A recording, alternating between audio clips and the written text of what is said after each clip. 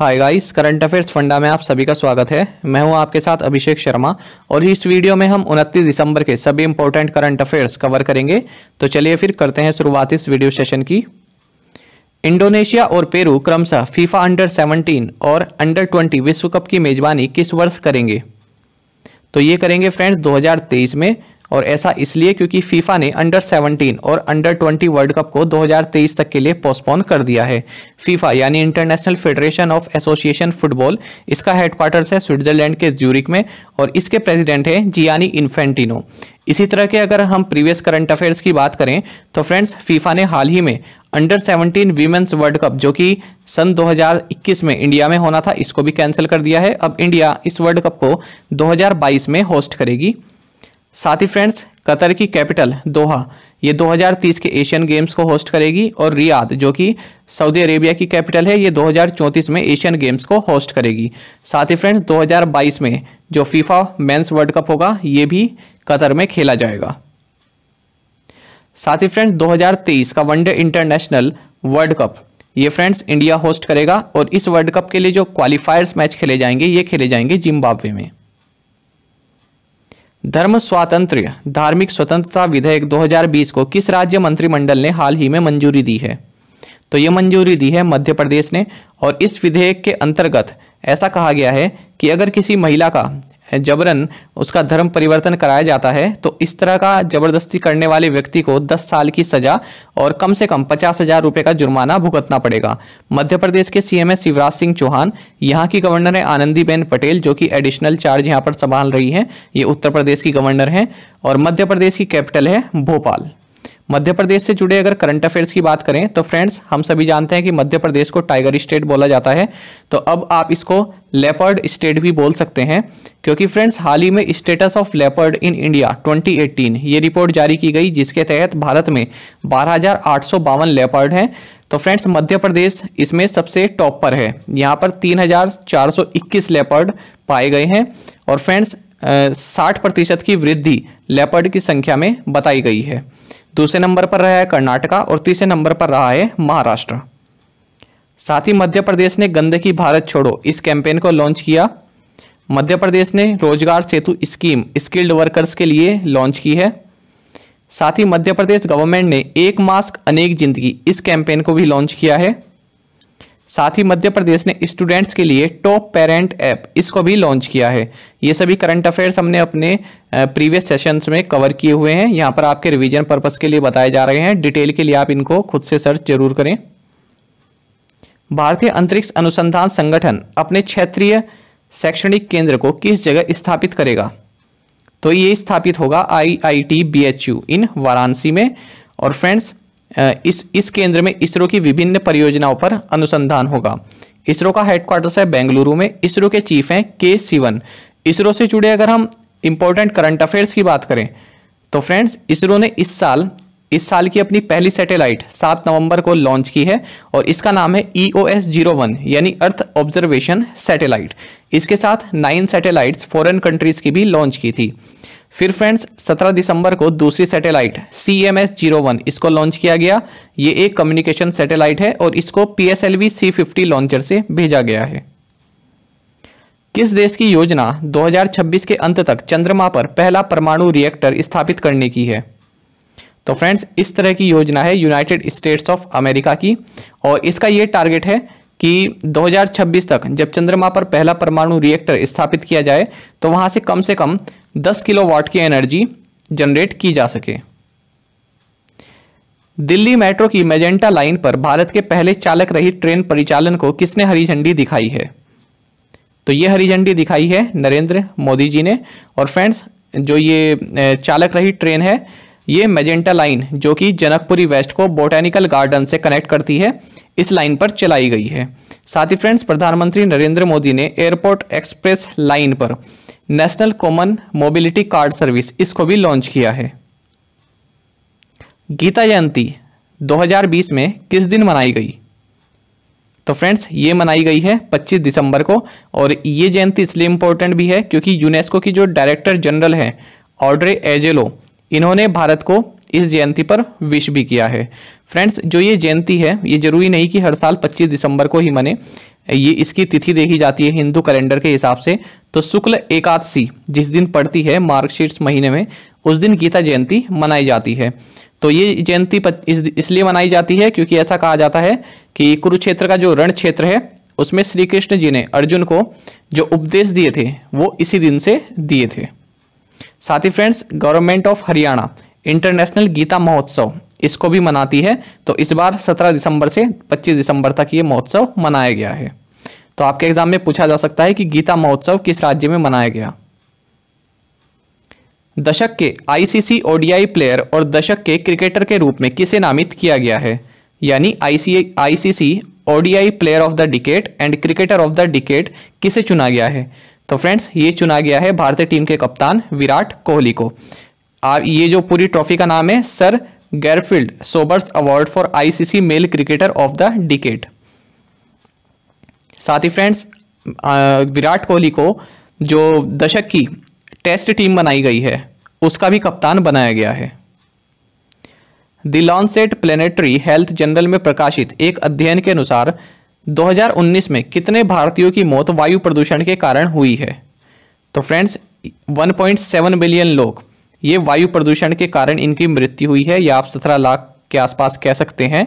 और फ्रेंड्स इनमें जो सबसे ज़्यादा लंग डिज़ीज़ जो हुई है, वो एयर पोल्यूशन के कारण हुई है। मतलब सबसे बड़ी जो डिज़ीज़ एयर पोल्यूशन के कारण हुई है, वो हुई है लंग डिज़ीज़ और फ्रेंड्स इस एयर पोल्यूशन के कारण जो भारत की जीडीपी है, वो भी 1.4 परसेंट तक घटी है। दशक के ICC spirit of cricket award का नाम किसे दिया गया है, किसे नामित किया गया है? तो फ्रेंड्स ये नामित किया गया है भारतीय टीम के पूर्व कप्तान एम एस धोनी को ICC spirit of the cricket award और ये फ्रेंड्स इनको इसलिए दिया गया है क्योंकि नोटिंगहम में एक टेस्ट मैच खेला गया था 2011 में, जहाँ पर इंग्लैंड के बल्लेबाज एन बेल कुछ मिसअंडरस्टैंडिंग होने के कारण उन्होंने अपनी क्रीज छोड़ी हुई थी। उन्होंने सोचा कि बाउंड्री पर बॉल चली गई है, लेकिन ऐसा हुआ नहीं था। उनको रन आउट कर दिया गया है। रन आउट कर दिया गया था। तो एम एस धोनी ने उनको वापस बुला लिया था। ईयान बेल को वापस बुला लिया था कि आप बल्लेबाजी कीजिए। और हम भी इस तरह की बात नहीं मानते हैं, ये आपसे भूल हुई है। तो इसलिए आप बल्लेबाजी कीजिए। तो इस तरह की भावना एम एस धोनी ने दिखाई थी। तो इसीलिए ICC spirit of cricket award इनको दिया गया है। साथ ही फ्रेंड्स आईसीसी ने जो दशक की मेंस टी ट्वेंटी और मेंस ओडीआई टीम बनाई है, इसके कैप्टन भी एम एस धोनी को बनाया गया है। भारत के मुख्य न्यायाधीश शरद अरविंद बोबड़े ने किस उच्च न्यायालय में ई सेवा केंद्र का उद्घाटन किया है? तो फ्रेंड्स, ये किया है त्रिपुरा हाई कोर्ट में और ई सेवा केंद्र के तहत जो लिटिगेंट्स हैं, वे फ्रेंड्स अपने केस स्टेटस के बारे में इंफॉर्मेशन ऑप्टेन कर सकते हैं, साथ ही जजमेंट और ऑर्डर की कॉपी भी ऑप्टेन कर सकते हैं। किसे आईसीसी पुरुष test player of the decade award दिया गया है? तो फ्रेंड्स, ये अवार्ड दिया गया है ऑस्ट्रेलिया के स्टीव स्मिथ को ICC men's test player of the decade award DigiBoxx जिसे हाल ही में नीति आयोग ने लॉन्च किया है, ये क्या है? तो फ्रेंड्स, ये एक क्लाउड स्टोरेज सर्विस है। तो जिस तरह की गूगल अपनी स्टोरेज सर्विस प्रोवाइड कराती है, इसी तरह से डीजी डीजी बॉक्स इसको नीति आयोग ने लॉन्च किया है। और इसमें 20 जीबी की क्लाउड स्टोरेज बिल्कुल फ्री मिलेगी। और पर मंथ थर्टी रुपीज़ अगर आप पे करेंगे तो आपको फाइव टेराबाइट तक का जो स्टोरेज है वो भी मिल सकेगा। भारत की पहली लिथियम रिफाइनरी किस राज्य में स्थापित की जाएगी? तो ये की जाएगी फ्रेंड्स गुजरात में। लिथियम और को प्रोसेस करके बैटरी ग्रेड मटेरियल यहाँ पर बनाया जाएगा। और फ्रेंड्स मनीकरण पावर लिमिटेड यहाँ पर एक हज़ार करोड़ रुपए इन्वेस्ट करेगी। गुजरात से जुड़े करंट अफेयर्स की बात करें तो फ्रेंड्स प्रधानमंत्री नरेंद्र मोदी ने हाल ही में गोगा हजीरा रोप पे फेरी सर्विस ये गुजरात में लॉन्च की है हाल ही में। साथ ही फ्रेंड्स प्रधानमंत्री नरेंद्र मोदी ने हाल ही में केवडिया और साबरमती रिवर फ्रंट इसके बीच में भारत की पहली सी प्लेन सर्विस भी लॉन्च की है। साथ ही फ्रेंड्स प्रधानमंत्री नरेंद्र मोदी ने गुजरात में किसान सूर्योदय योजना किसानों के लिए लॉन्च की है। और फ्रेंड्स वर्ल्ड का लार्जेस्ट टॉय म्यूज़ियम ये भी गुजरात में सेटअप किया जाएगा। अब देखते हैं फ्रेंड्स आज के इंपॉर्टेंट वन लाइनर्स भारतीय नौसेना और इंडोनेशिया, इंडोनेशियाई नौसेना के बीच भारत इंडोनेशिया कोऑर्डिनेटेड पेट्रोल यानी इंड इंडो कोरपेट ये फ्रेंड्स इसका हाल ही में पैंतीसवां संस्करण आयोजित किया गया है। रक्षा मंत्री राजनाथ सिंह ने air chief marshal R K S Bhadauria को अस्त्र एम के वन मिसाइल प्रणाली सौंपी है। राज्यसभा सांसद आरसीपी सिंह जनता दल यूनाइटेड के राष्ट्रीय अध्यक्ष चुने गए हैं। लद्दाख के उम्बा गाँव को पहली बार बिजली मिली है।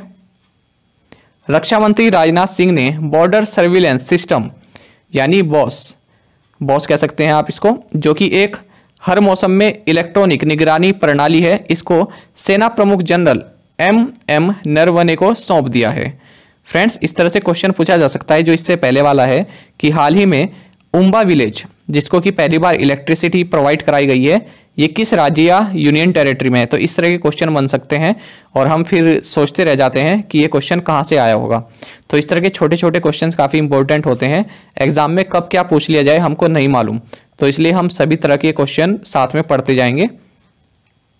अब देखते हैं प्रीवियस असाइनमेंट क्वेश्चन के answer S C O stand for what तो एससीओ का मतलब होता है Shanghai cooperation organisation what is the capital of Cambodia Phnom Penh Mohiniattam dance belongs to which state Kerala Ooty and Kodaikanal are located in which state Tamil Nadu where is the headquarters of new development bank located Shanghai अब देखते हैं आज के assignment questions friends काफ़ी interesting questions हैं। ये आपने पहले पढ़े भी होंगे और ये वो क्वेश्चन है जो कई बार एग्ज़ाम में पूछे गए हैं। ये सभी क्वेश्चन मैंने एक क्वेश्चन पेपर से उठाए हैं, जो कि उत्तराखंड में एक क्वेश्चन पेपर आया था, वहाँ से मैंने ये लिए हैं। तो अगर आप इनमें से किसी एक का भी आंसर करते हैं तो ये भी आपके लिए काफ़ी बड़ी बात है कि आपने उस क्वेश्चन पेपर का एक क्वेश्चन भी आपने जवाब दे दिया है। तो देखते हैं which vitamin is essential for blood clotting which river is known as sorrow of China on which hill the Rashtrapati Bhavan is situated in Delhi Central Drug Research Institute is situated in which city?